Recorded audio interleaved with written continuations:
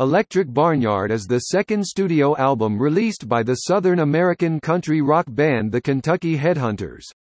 Released in 1991, it was their second and final album to feature the original lineup of Greg Martin, Doug Phelps, Ricky Lee Phelps, Fred Young, and Richard Young.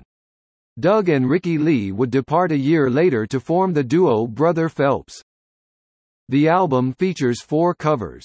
Only Daddy That'll Walk the Line, Originally by Waylon Jennings, With Body and Soul, originally by Bill Monroe, Spirit in the Sky, originally by Norman Greenbaum, and The Ballad of Davy Crockett, a 1950s pop standard.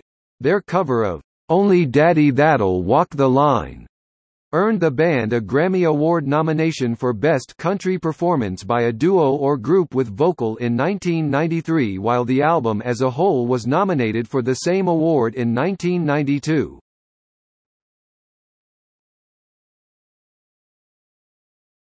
Topic. Track listing All tracks written by the Kentucky Headhunters Greg Martin, Doug Phelps, Ricky Lee Phelps, Fred Young, Richard Young except where noted.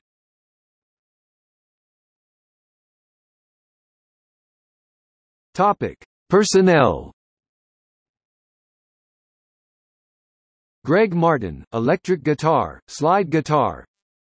Doug Phelps, bass guitar, background vocals Ricky Lee Phelps, lead vocals, harmonica, percussion. Fred Young, drums, percussion. Richard Young, rhythm guitar. Topic. Chart performance